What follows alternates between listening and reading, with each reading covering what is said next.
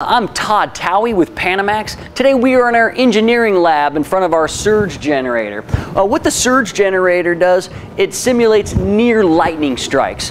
So we get a chance to showcase uh, how our product reacts uh, and how competitors react versus near lightning strikes. Uh, what we have here is in the surge generator, uh, uh, the M8 plugged into it.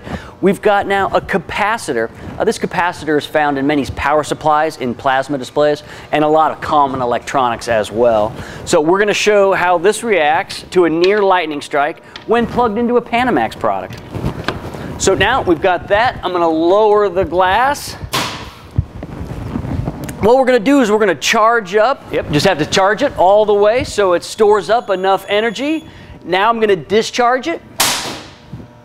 Notice nothing has happened to the capacitor. Nothing should have happened. Your customer's uh, electronics and all the gear you've sold them has been protected. So now let's take Panamax out of the equation and see how the capacitor reacts to a near lightning strike to the same surge.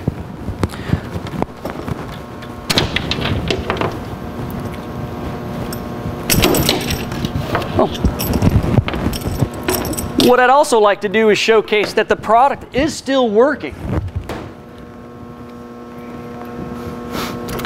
So we have that. Now the light bulb represents the audio video equipment your customer is buying from you.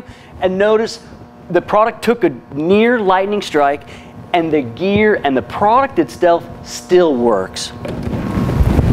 So now I've got the capacitor plugged directly into the surge generator what I'm going to do now is store up the energy. And now let's take a look at what happens. Wow. If I was a custom installer, I'd want Panamax installed in my customers' homes.